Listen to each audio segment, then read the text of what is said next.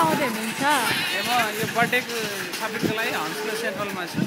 तपाईँले देख्नुहुन्छ दायाँ बायाँतिर सपिङ भइरहेको छ। घरमा बसी बर्थडे छ। बर्थडे चाहिँ कसको? आफ्नै हो कि होइन मेरो बर्थडे त फेबमा हो पर्सि चाहिँ अम्बिकाको बर्थडे हो। अनि स्पेसल तयारी छ जस्तो छ नि यस्तो सपिङ। हेर्दा त। ब्याग बोकेर हन्सलो मार्केटमा घुमिरहेको छु। यति ठुलो पोको लिएर आउनु भएको छ त्यो चाहिँ के हो? यो पनि गिफ्ट हो। पहिला गिफ्ट होला नि फेरि।